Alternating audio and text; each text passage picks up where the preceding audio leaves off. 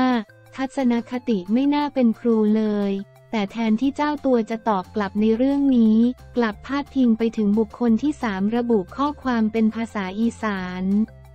แปลความได้ว่า หลายคนคงสงสัยเหมือนผมว่าทำไมเขาถึงเดือดเนื้อร้อนใจแทนกันดิ้นปกป้องแทนกันขนาดนี้ เขามีอะไรกันแล้ว เมีย ผู้ชายก็มีลูกน้อยหึงจนได้ไล่กันกลับบ้านโอ้ยนอสงสารเมียกับลูกน้อยมันแท้ครูว่าแล้ว ความลับไม่มีในโลกเด้อท่าน แล้วยังตอบกลับอีกหนึ่งสตอรี่เขียนข้อความต่ออีกว่า แบบนี้คิดว่าเขาพูดเล่นที่ไหนได้ซัมติงกันจริง ๆ ก็ว่าอยู่รถตัวเองไม่ขับไปขับกับผู้หญิงสองคนนี้หน้าล่ะ เมียมันหึงหวายกูว่าแล้ว บันเทิงหละสูปอลอข่อยบอเกี่ยวเดอ้อก่อนจะลบโพสต์ไปนั้นด้านทนายเก่งวิสรุตทนายความเอมิราก็โพสต์ติ๊กตอกว่า คดีเช้านี้อย่าบอกเลยครับว่า ไม่รู้ไม่รู้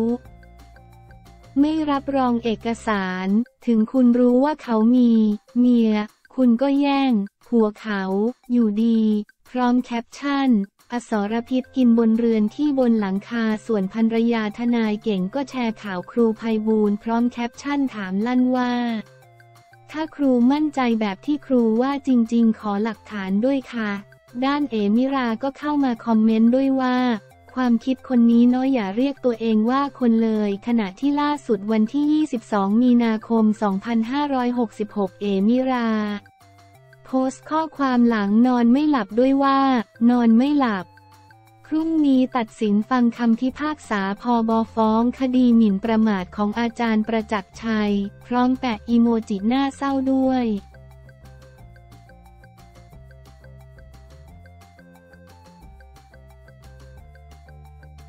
บี้ทัศภาคปลื้มกุ๊บกิ๊บสวยขึ้นเพื่อนทักเหมือนได้เมียใหม่ เผยทำคอนเทนต์กระตุ้นเศรษฐกิจไทยนานๆ จะกลับมาอยู่เมืองไทยสักที เพราะมีคิวถ่ายทั้งละครและซีรีส์ที่จีนแบบยาวๆ แต่รอบนี้บี้ทัศภาคชี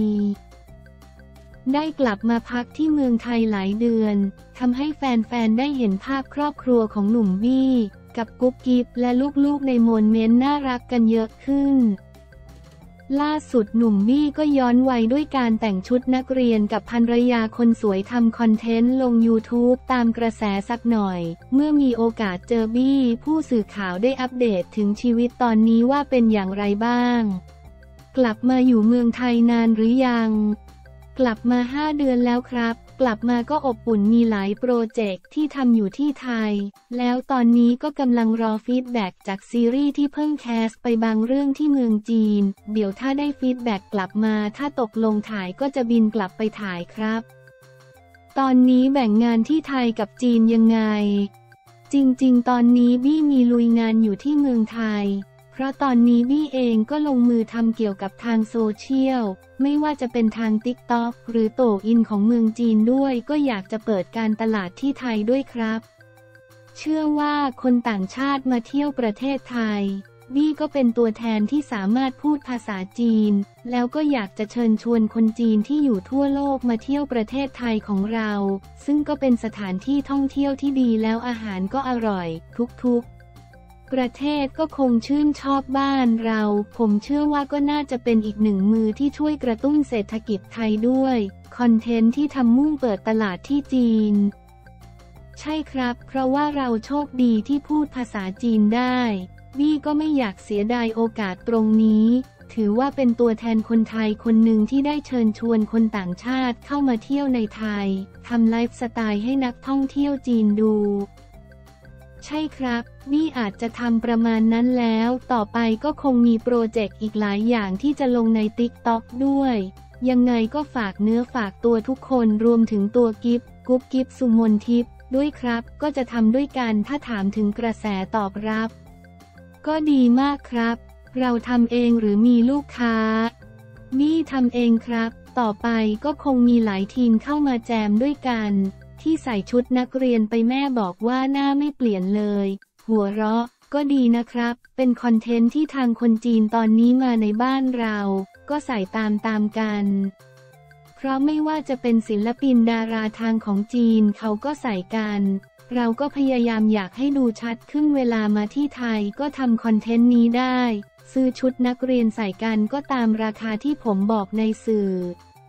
อยากให้นักท่องเที่ยวของต่างชาติที่มาเที่ยวในเมืองไทยได้เห็นว่าทุกอย่างราคาประมาณนี้นะ ถามว่าเขินไหมไม่นะ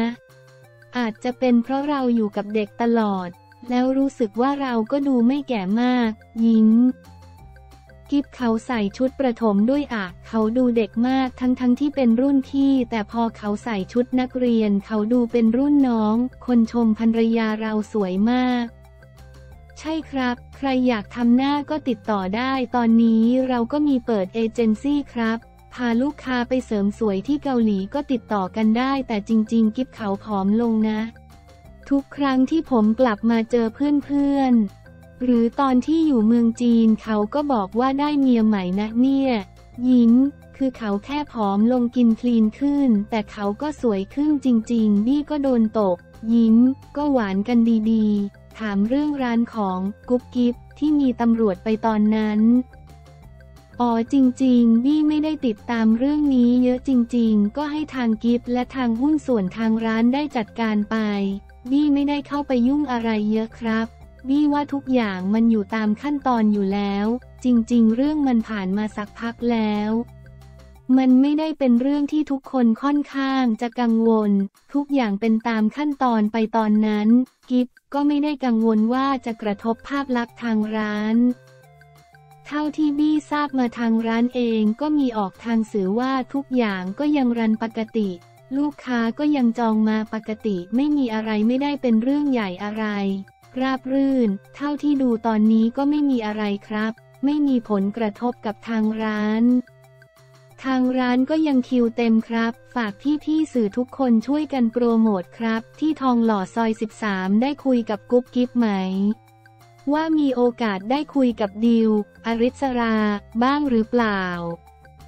เหมือนได้ยินเขาโทรหากันอยู่คุยถามถ่ายสารทุกสุขดิบกันพี่ดิวตอนนี้ก็อยู่ไต้หวันเท่าที่ทราบพี่ดิวก็สบายดีครับ กิบก็ไม่ได้เล่าอะไรทางธุรกิจของกิบบี้ก็จะไม่ก้าวไก่เราให้เกียรติซึ่งกันและกัน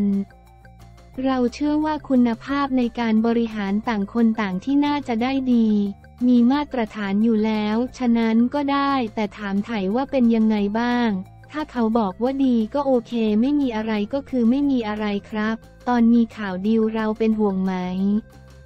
เป็นห่วงครับ เพราะว่าพี่ดิวก็เป็นเหมือนพี่คนหนึ่ง